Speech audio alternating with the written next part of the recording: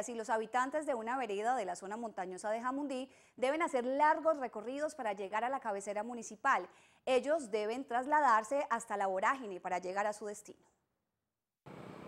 Esta es la vía que comunica a los 2.400 habitantes del corregimiento del Peón y la vereda Chontaduro con la cabecera de Jamundí.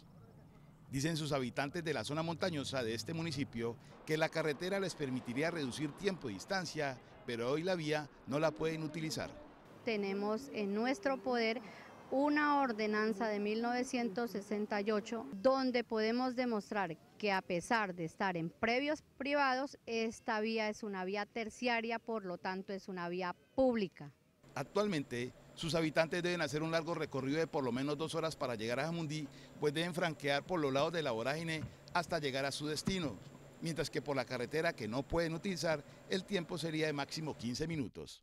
Nuestros enfermos eh, tenemos que sacarlos a caballo, a pie, en moto, las mujeres en embarazo, incendios, que es realmente complejo atenderlos porque no tenemos una vía de acceso rápida y directa con el municipio de Jamundí. Los habitantes del corregimiento El Peón y la vereda Chontaduro en su mayoría son campesinos.